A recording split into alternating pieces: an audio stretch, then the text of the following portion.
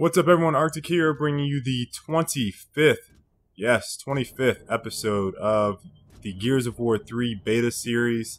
I am fresh off of the heels of MLG Raleigh, where we got to play some Gears of War 3, and I'm here with my main man, Skyllus. What's up? I was at home. He was chilling, watching the stream. Uh, we Playing are, Gears too. yeah, Yeah. that was sad to come back and watch him playing Gears 2 after I got to play that loveliness that is Gears 3. Uh, we're on the map Trenches, uh, and we're following Skyllus's uh, POV. One of the reasons that I picked this map is kind of to talk about the changes for each map, and having played them firsthand and uh, played pretty much all the maps that are on the game, I must say that uh, Trenches is by far one of the best changes I've ever seen um, from beta to final build release. Like it's just a completely different game and a completely different experience. I have multiple videos talking trash about trenches, so Yeah, it was pretty bad. Yeah, It was really bad, actually, especially for TDM. yeah. So uh, the big the big changes were uh, on the bottom of the nest or the bottom of the map. There's now uh, an area called the cave. Uh, it's actually below the nest, um, and Skyllus is moving up towards that area right now. So in that center where that box is, right in front of him, he's aiming up there. That box that's right towards the middle area uh, has a hole that goes down into the nest, and you actually spawn in two different spots. Uh, where Boom Shield used to be, Right down there. yeah, right down that pathway, right where the Boom Shield is, is where you spawn, and uh, off to the left or right, depending on which way you're facing. Uh, that also has an entrance down into the cave. So you can actually see across the other spawn then, right from the get go, right? Uh, Looking across the windows. I guess if you ran out and went to the sandbag, you could look straight at the other spawn, yeah. So from sandbag to sandbag, yeah, you could see them spawn on the respawn. That's something to think about. And then the old spawns are actually tunnels also into the cave, correct? Correct, that's correct. So uh, um, generally, like uh, I mean, we watched TDM at, at the event. Generally, there wasn't any instance of spawn camping. It was just map control was Yeah. really hard to uh, push. It slowed down a bit areas. though, It did. as teams started setting up and just sitting there. It did. I think that comes down to the power weapons on the map. Right, and that I mean they were up there by Mulcher, um, and well, Mulcher and One Shot, um, uh, for the second and third round. So it really slowed down after uh, Insane saw how Team Epic was playing. So teams could run around the map at least, and they weren't just trapped in their spawn. Right.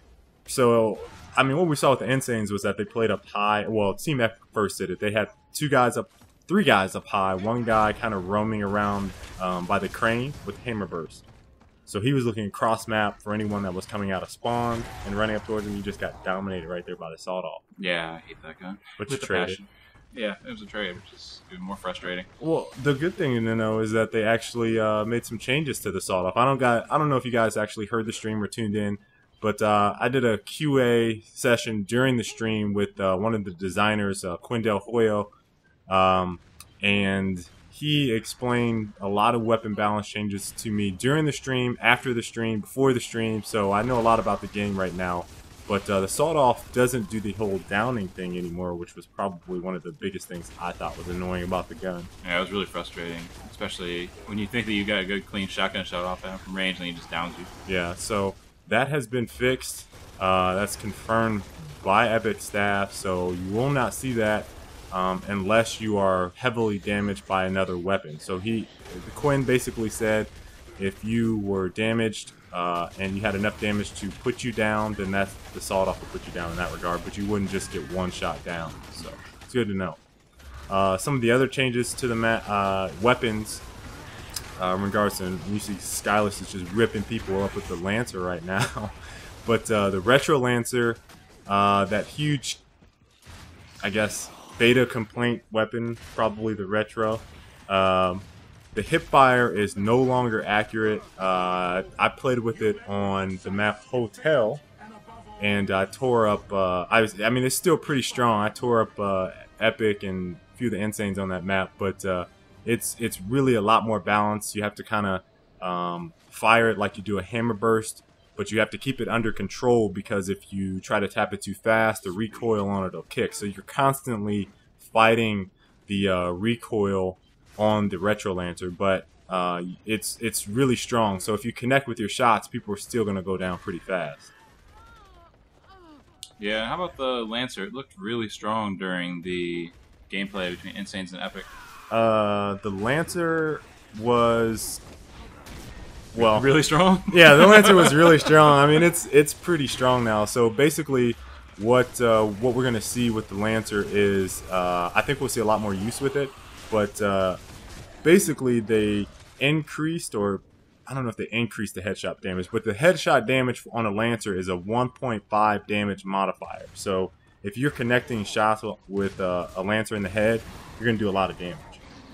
Of course, it's also a spray weapon, so it's kind of So it doesn't doesn't keep consistently on the head. Right. Um, the the thing is, you get that large clip, so you know I wouldn't be surprised if maybe down the line we see a Lancer nerf. Um, hopefully, I mean at least where they re- maybe reduce the clip. I mean, not necessarily a nerf to the actual damage, but reducing the clip might actually be beneficial to the gun. Uh, What? 200 bullets? It's too much? No, I'm talking about the flip 50 shots. I think it's actually close to 100. Is it 50? Might yeah, be you get 50. So I think that might be balancing. Like 12 seconds of fire. Yeah. So that I mean that would be a little bit better for the game. for the game, you have 13 downs with it. So I noticed the hammer burst also got changed. Uh, the reload is what stuck out during the gameplay as far as Yeah. how the active works. so the reload from the beta to the game they actually moved the active um, timer back. So it's actually it takes longer to get an active reload, and then they nerfed some of the damage. So the hammer burst actually does less damage with an active than it did. Um, I actually think that's good. I mean, I thought it was too strong during the beta. Yeah. Uh, that and the retro were way ahead of the Lancer. so Sounds like everything's more in line now. Yeah, I mean, I'm very, very happy with a lot of the changes that they made. Uh, really listening to the community feedback on it and making it as balanced as possible. And it's not like, you know, you get a lot of people that kind of complain because their weapon is changed, but I think those people don't really look at it from a balance standpoint. They look at it as like, Why isn't my gun fun. doing so Why good? isn't my gun better? but it's you got to think about how it works. And and Colin Scalise and I work in the gaming industry, and we do a lot of things with um, balance, and because we're in QA, I mean, we do a lot of things with balance. So you have to understand from a consumer standpoint that uh, people want to have fun, and they don't want people abusing certain weapons, and those weapons were abusive. Yeah. So I'm looking forward to the first couple months, especially in the competitive scene, of seeing which guns get used the most. And I hope that everyone gives them a chance. We'll see how that goes. Yeah, hopefully they do. I mean, I've talked to a few guys at MLG uh, Raleigh, and they seem pretty enthusiastic about trying trying some new things. Look at you going to mortar. What are, what are you Yeah, doing? I should probably never pick up the mortar. I actually picked it up in Gears 2, fired it for the first time, maybe ever. I don't know if I ever fired it when we played, and I killed myself the other day. That's pretty. So I'm retiring myself from firing a mortar. in Are you talking Gears about the game. one when you shot the ceiling? And Yeah. yeah, that's pretty bad. Um, but I want to end this, guys, because we're wrapping up here with uh, some details on the map. So my favorite maps uh, from the beta: dry docks, hotel. Um, oof, He's on fire. yeah, yeah, tore up. Dry docks, hotel. Um, obviously, all the beta maps are really good now. So that's another four maps. Um, as far as competitive play goes, I mean, Sandbar is absolutely gorgeous, but it is really big. So it's not going to be a competitive map, maybe a horde map. Yeah, that's nice. And it looks pretty. Yeah, it's nice. The, the horde guys get a, Yeah, horde. I mean, get a good map for if horror. you if you like horde, you're gonna love Sandbar. Yeah, that's, that's, Just they're just gonna be coming from everywhere. You're not gonna know how to react. that's good for them. Yeah. Yeah, good for horde guys. so that's a good map. Um, Overpass was interesting. It's not. I don't particularly care for it in TDM, but uh, King of the Hill was pretty fun. I I really like that map, and then uh, how the landscape changes with the map actually sinking is also really cool. You guys are having a lot of trouble ending this. yeah, I think it was like three to four. It was four. It was like three on nine. And now we're trying to finish it, and at least it. There you go. Sometimes you have to do everything yourself. So, I mean, yeah, guys, if you have any questions about the uh, maps, Uh, I can give some pretty general answers, and you finish that off with a nice shotgun kill. Uh. So uh, leave your questions down in the comment section, guys. I'll try to answer them about the uh, maps. The game is fantastic, and uh, Skyllus goes huge with 14 kills and 15 downs.